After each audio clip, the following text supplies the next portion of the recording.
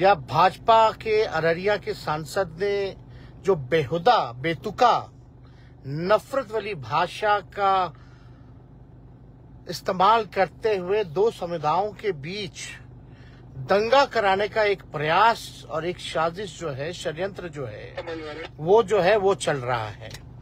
और आप सब लोगों को हम इतना बता देना चाहते हैं कि बिहार सरकार ने अद्भुत है नीतीश कुमार जी, कि गांधी की बात करते हैं और गौडसे के वंशजों को बढ़ाने का काम कर रहे हैं बिहार की धरती पर। राष्ट्रीय जनता दल हमेशा से सामाजिक न्याय और धर्मनिरपेक्षता की पार्टी रही है। जो कुर्बानी देना पड़ा हो हम लोगों ने दिया है। मजबूती के साथ हम लोगों ने सांप्रदायिक शक्तियों से, सामंतवादियों से हम लोगों ने लड़ाई लड़ी है। और आगे भी हम लोग जो है लड़ाई लड़ेंगे। लेकिन नीतीश कुमार जी आज बहुत खुश हैं।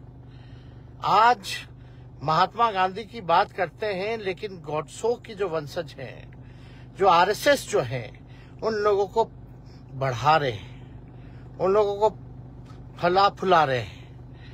आप देखिएगा जिस तरीके से भाषा और जो इस प्रकार से सीमांचल के इलाकों में जाकर के एक प्रयास किया जा रहा है, दंगा भड़काने की केंद्र मंत्री द्वारा सीमांचल का इलाका पिछड़ापन है वहाँ पर, गरीब है वहाँ पर, दलित, अल्पसंख्यक भाई, पिछड़े अति पिछड़ों की आबादी है। लेकिन सीमांचल के इलाके में वो गरीबी की बात करने नहीं गए हैं, गरीबी मिटाने नहीं गए बेरोजगारी की बात नहीं कर रहे, बेरोजगारी मिटाने नहीं गए पलायन रोकने की बात नहीं कर रहे बल्कि सबसे ज़्यादा वहाँ से पलायन है। महँगाई की बात नहीं कर रहे हैं वो।